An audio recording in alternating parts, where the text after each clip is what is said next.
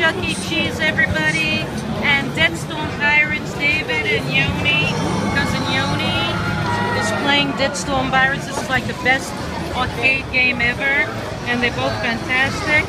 They're both getting the pirates all right. They're really, oh, they're like, uh, they're really getting like super friends over there. Big dragons. Best arcade game. Problem is it costs about, it costs about $8,000 when you